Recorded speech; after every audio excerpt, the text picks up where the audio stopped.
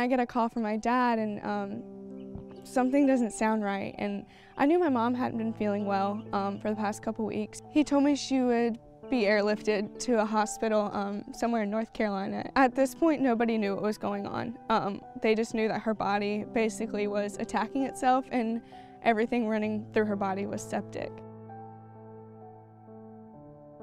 Being like the oldest of four, I've kind of been like that second mom all my life. So, um, gosh, I didn't really know like if I would lose her.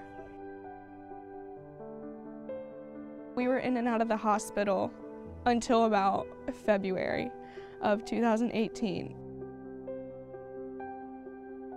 I told my teammates when I had scheduled my final evaluation at Duke. At the end of practice, we always do um, prayer requests, and um, I said, oh, if you guys would just pray for me, I'm going to Duke tomorrow, and some of them knew I had been going through this, but a lot of them didn't. Um, and they, everyone just kind of like looked at me and I was like, I'm gonna go, I'm gonna go see if I can give this kidney to my mom. so when I went to Duke, I told them that it was a secret and I had not told my mom. And I asked them, um, I was like, you know, if this does end up working, I, I just really don't, I want to be the one to tell her. During this whole thing, you know, I didn't want to get too excited because I didn't want to get my hopes up. And that's kind of why I didn't tell her. I was thinking about it just because, like, we've been holding on to hope for so long, and I just didn't want, like, I didn't want that to, you know.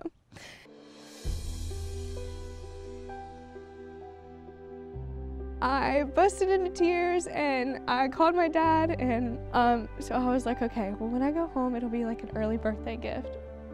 And I was like, I don't know how I'm gonna top this birthday gift, but this is gonna be it for this year. I printed out like my CT scan and um, I kind of pointed to the kidney that they would be taking, the left one. And um, I had an arrow to it and I wrote on the poster, I said, we're expecting a kidney. And there was a mason jar of kidney beans. And I was like, well, if she doesn't get the hint after that, I, I don't know what I'm gonna do. And it was a really like special moment between us because, you know, it's my mom. The least I can do is give her this kidney that she needs to give her a new life.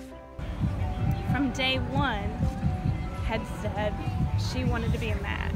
And She wanted to be the donor. She knew that she would be a match and she knew that it would work. So she has, has wanted this since day one. And I had no idea that she had gone and spent two days at Duke and gone through all the rigorous testing and, and everything that's required. So it's, it's very impressive and I'm thankful and so proud.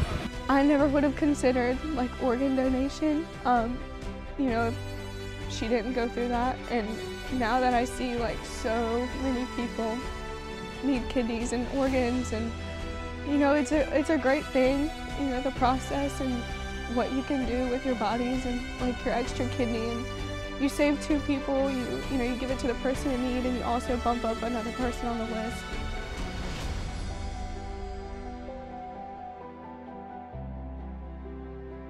They're encouraging. They've always been encouraging and they've always been so supportive and especially my coach. She she's known since day one and she's just been like such an amazing support system. And Wingate as a whole, like my professors and just everyone around me has just been so encouraging and so helpful and it's just been amazing.